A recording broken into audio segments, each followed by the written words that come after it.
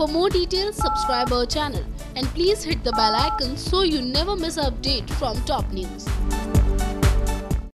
दिव्य दृष्टि से जुड़ी हुई तमाम बड़ी खबरों को आप तक पहुँचाने के बाद अब वक्त हो चला है आप सभी को इस शो से जुड़ी हुई एक और बहुत बड़ी अपडेट देने का। बल्कि तो आप जान गए हैं कि इस कहानी में जिस तरीके से हमने बताया था, उस तरीके से अब बिल्कुल सटीक तरह से शिखर की वापसी हो चुकी है। जिस खबर को लेकर काफ़ी सारे लोगों को असमंजस था, लेकिन वो खबर अब वाकई में सच हो गई है और आखिरकार हमारा शिखर लौट आया है। लेकिन इस शिखर की कहानी में एक और बहुत बड़ा ट्विस्ट आने वाला है। जी हाँ खबरों की माने तो आगे आने वाले एपिसोड में एक और शिखर की या फिर कह लीजिए लीजिए कि उस शिखर की एंट्री होने वाली है जो मारा जा चुका है। वेल थोड़ा सा कंफ्यूज हो गए होंगे आप, लेकिन इस कंफ्यूजन को दूर करते हैं और ये बता देते हैं कि हाल फ़िलहाल में शो से जुड़े हुए कुछ सूत्रों से पता चला है कि पिशाचनी बहुत बड़ी चाल चलने वाली है, जहाँ वो पुराने वाले शिखर को वापस लाएगी और इस वाले शिखर के सामने खड़ा कर देगी, ताकि दिव्य दृष्टि और साथ ही रक्षित बहुत बड़ी कन्फ्यूज़न में पड़ जाए और आखिरकार इस कहानी को और भी ज़्यादा मज़ेदार ट्विस्ट इन टर्न्स मिल जाए। तो बने रहिए हमारे साथ और सब्सक्राइब कीजिए हमारा channel